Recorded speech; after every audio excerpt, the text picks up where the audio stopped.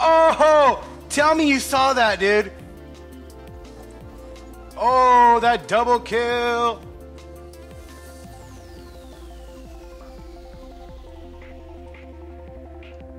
I tried to jump away from it.